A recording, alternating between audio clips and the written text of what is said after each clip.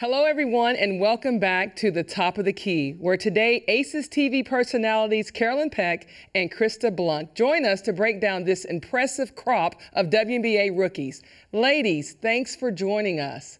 Oh, glad to be here. Here we go again. Thank you. I know the two most well known draft picks, Caitlin Clark and Angel Reese.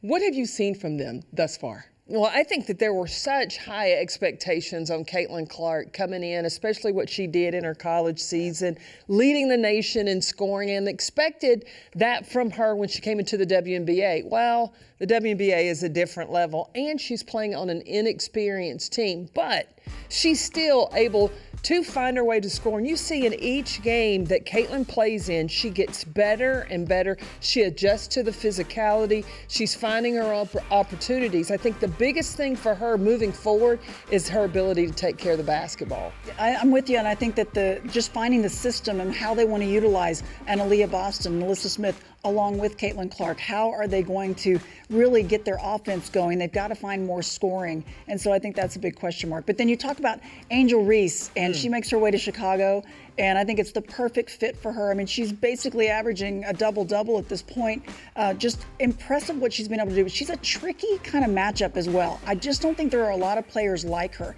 Uh, she's physical, she's big like a post, but she's got some quickness about her as well. Her defense has been solid, and that's something that, you know, when you don't have the defensive play in this league, you're going to struggle and you're probably not going to get minutes. But I think she's doing a great job. A good word that I hear often used with Angel Reese is unorthodox. Mm because I mean, coming out of college, we didn't know if she was left-handed or right-handed because she can shoot the ball with both hands, but also how she can rebound in that second jump, her ability to get off the floor as well. But talking about rebounding, what LA did when they got Cameron Brink and Rickea Jackson, let me tell you, Cameron Brink has already demonstrated to me that she is going to be a problem in this league. She could potentially be into the conversation already of making an all-defensive team because of her shot blocking ability. She is so long and she's learning how to wall up so that she's not getting into foul trouble. And then Rickea Jackson, that played at Tennessee, has the ability to play multiple positions. She can play that stretch four. She can go out to the three. She can defend.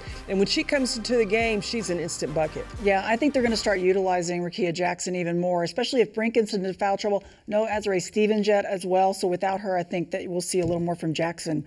And then when you when you look at the, the Washington Mystics, I love Aaliyah Edwards from, from Connecticut into their system. I think she's really stepped in. I think they needed a big presence. No Elena Delle Donne this year. So they needed somebody to kind of fill high low post. Um, she can step out a, a bit, but I, I, love what she's been able to do in this rookie season so far. Her numbers are there. And then they also have a player in Julie Van Loo. And I don't think a lot of people, she's one of those undrafted kind of unknown gems that I that I look at. And she's a she's part of the Belgian national team. She can shoot it. She's a scrappy little guard. She can handle the ball for them as well. But she brings some experience to this team who, who got a little younger this year, I think. And she brings a, bus, a burst of energy. Her quickness on the floor. But talk about bringing energy on the floor. You've got Sev Uzun and Jaelyn Brown. Where did Jaelyn Brown come from? I mean, in the in the exhibition games, this is a rookie that came into the game knocking down threes with confidence.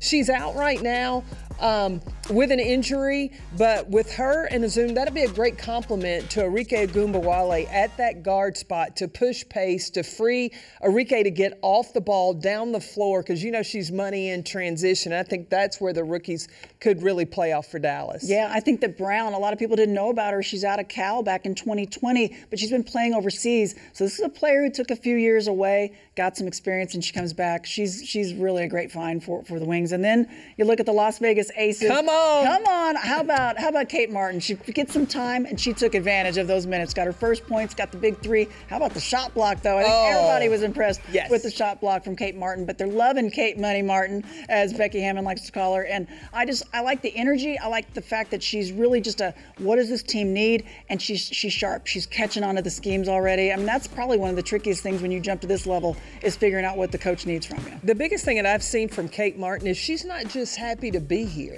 Like she wants to contribute and she has she fits in where she needs to be. If it's a defensive stop, if seeing her, you know, you look at her and you go, okay, she came from Iowa. Will she be able to guard the athletes in the WNBA? Yes, check that a big box out when you need it. Mm-hmm. She's willing to sacrifice her body and get inside. And then don't put her in that corner pocket because you come down, leave her alone.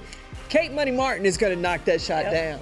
Wow, what an impressive collection of rookies. We look forward to watching their career because they are going to do wonderful things here in the WNBA.